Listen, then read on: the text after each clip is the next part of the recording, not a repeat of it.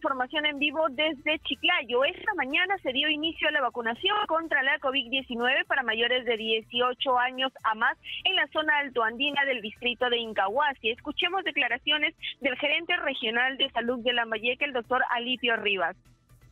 Vamos a iniciar la vacunación sábado y domingo, nuestro personal de Jereza pudiendo hacer el tema del trabajo de comunicación para que eh, podamos tener una, una vacunación masiva Solo se ha programado dos sectores, uno es el de Uyurpampa y el otro sector es el de Incahuasi.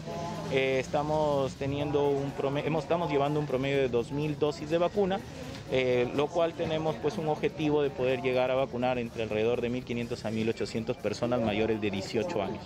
En lo que respecta a zona altoandina, eh, ahorita con, con, esta cantidad de vacunas y, la, y el y el baja de la población, ¿no? que vamos a poder utilizar el grupo etario 18 más, efectivamente nos va a permitir cerrar la brecha. ¿De cuánto hablamos de ese cierre de brechas en zonas altandinas? Nosotros tenemos un promedio de 9.000 dosis a aplicar y en estos dos sectores de 18 más 2.000, que es lo que estamos llevando en su totalidad la, la cantidad de vacunas necesaria para estos dos sectores.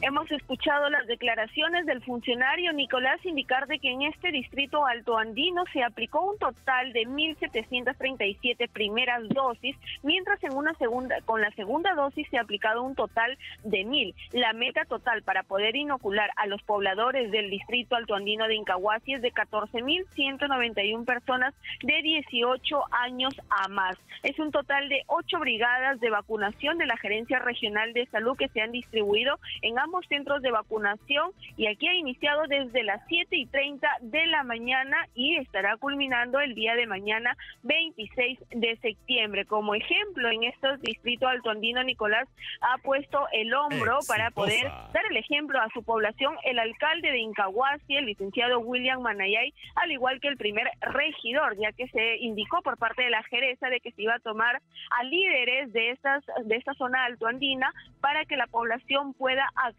a la vacunación. Para Exitosa Perú informa Noel Bracamonte desde Chiclayo.